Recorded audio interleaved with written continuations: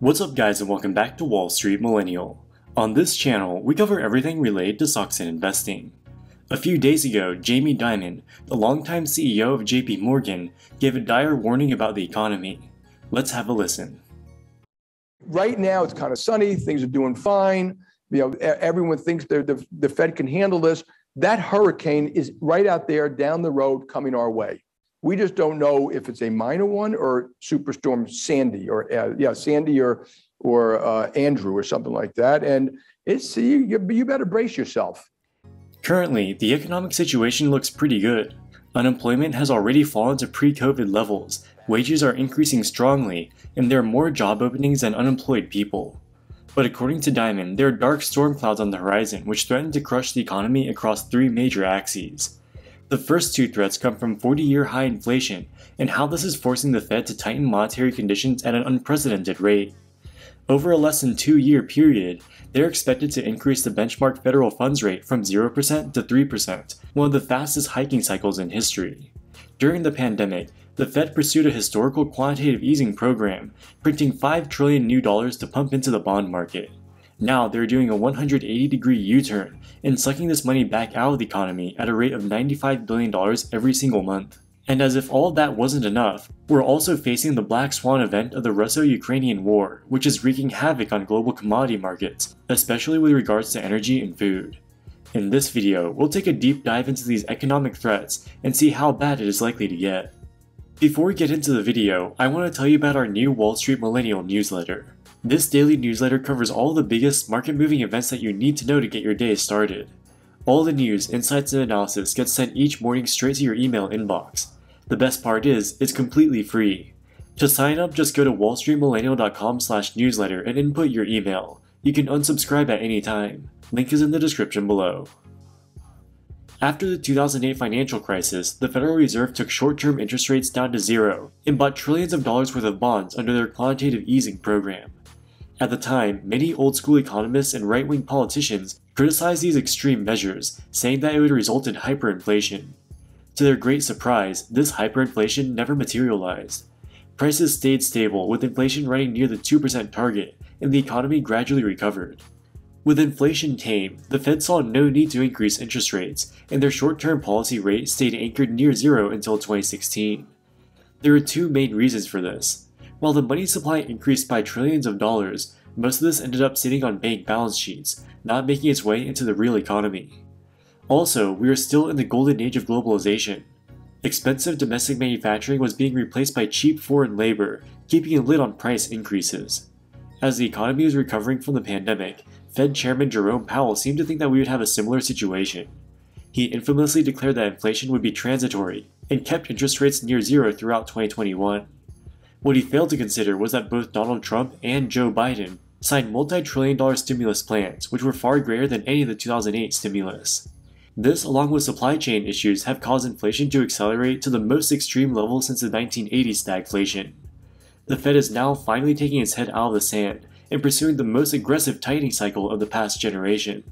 They've already increased the short term federal funds rate from 0% to 0.75%, and are expected to take this all the way up to 3% by 2023. This would be the highest interest rate since 2008. At the same time, they're starting to unwind their $9 trillion balance sheet at a rate of $95 billion per month. The last time they did quantitative tightening like this was 2018, where they reduced by only $50 billion, or about half that rate. So both the current size of the balance sheet as well as the speed it will be sold off are unprecedented.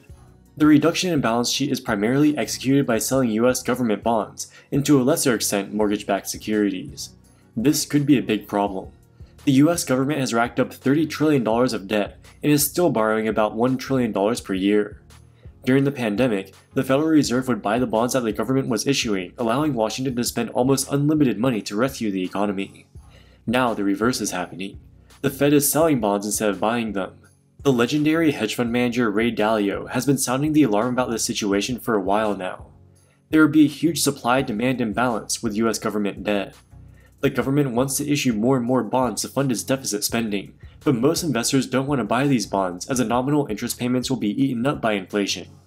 By the basic laws of supply and demand, this means that yields on government bonds have to go higher, and probably a lot higher. The interest rate on the 10 year Treasury bond has increased from 0.5% at the depths of the pandemic to almost 3% today. In nominal terms, this is higher than the pre COVID level.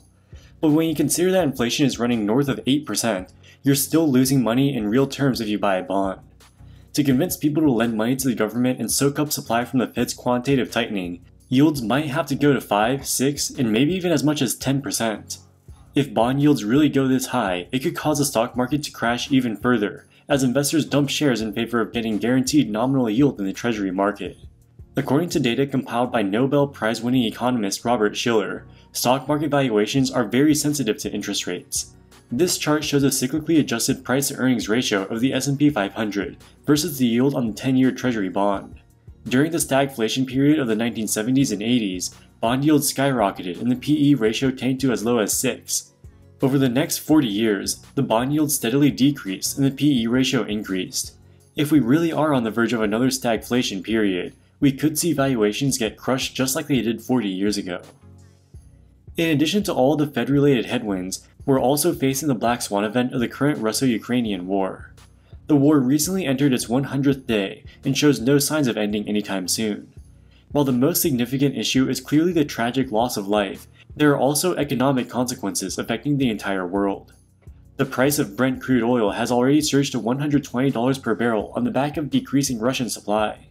And in fact, the situation is even worse than it first appears. This increase in oil prices has happened in spite of a strict COVID lockdown in the economically important Chinese city of Shanghai.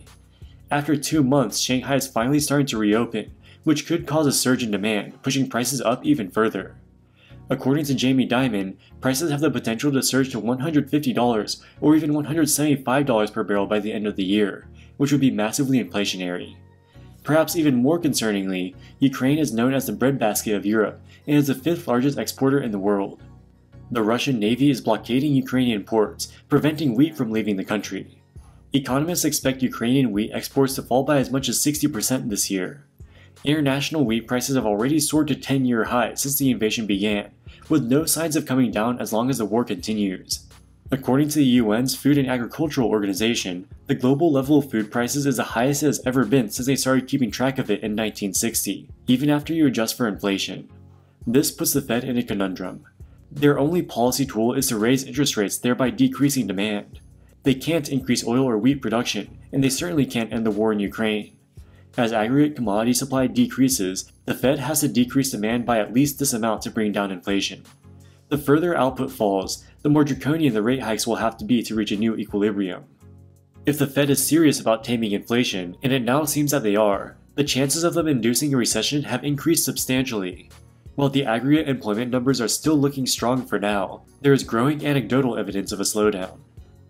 Elon Musk recently told Tesla executives to lay off 10% of their white collar workforce, as he feels very bad about the economy. With JP Morgan being the largest bank in the US and one of the largest in the world, CEO Jamie Dimon has a unique vantage point to observe the real economy at a very high frequency.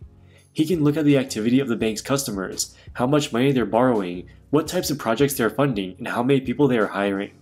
And while he hasn't seen a significant slowdown yet, he sees vulnerability based on all these potential headwinds that we could face over the next year. So, what will be the effects of this economic hurricane? Interest rate sensitive segments of the economy, like real estate construction, will be some of the hardest hit. The average interest rate on a 30 year fixed mortgage has increased from about 3% during the pandemic to 5% today. While a 2% increase doesn't sound like a lot, it could have a huge impact on housing demand. For a $300,000 house, a 2% increase in interest rate will increase the monthly payment by $300 for a 30 year loan. We're already starting to see signs of this. Rocket Mortgage is one of the largest mortgage originators in the US. Their business boomed during the pandemic, but is quickly coming back down as interest rates rise. The increase in energy prices is having a much broader impact on the economy. Just about every single physical good has to be transported by truck, train, or boat, all of which are powered by oil. Thus far, retailers have been able to pass these higher input prices onto consumers given the backdrop of growing wages. But if the Fed tanks the economy into a recession, this will no longer be the case. Just a few weeks ago, Target's share price lost a quarter of its value after they reported disappointing profit margins driven mostly by cost inflation. If the economic hurricane scenario that Jamie Dimon is predicting plays out, these cost pressures will only get worse. So, how should we prepare ourselves for all these risks? Jamie Dimon says that JP Morgan will be more conservative with its balance sheet. They'll reduce their lending to risky borrowers and hold more safe assets. As an individual investor, you can also make moves to prepare for the potential stagflation. As we said on this channel many times before, oil stocks were the best performing sector by far during the previous stagflation. While history doesn't repeat itself, it does rhyme. As oil companies have underperformed technology stocks over the past decade, they've come to make a smaller and smaller proportion of the broad indices. This has left many passive investors underexposed to this powerful stagflation hedge. Over the past few months, the XLE Energy ETF has finally started to mount a comeback. If oil prices really increase to $150 or even $175 per barrel like Dimon is warning about, there could be further room to run. While this video is not financial advice, I personally have increased the weighting of oil stocks in my portfolio recently for the exact reasons that Jamie Dimon is talking about. Alright guys, that wraps it up for this video. What do you think about Jamie Dimon's prediction of an economic hurricane? Are we entering a stagflation like the 1970s? Let us know in the comments section below. If you want daily updates about inflation, the oil market, and everything else related to stocks and investing, don't forget to sign up to the Wall Street Millennial newsletter for free, link in the description below. As always, thank you so much for watching and we'll see you in the next one. Wall Street Millennial, signing out.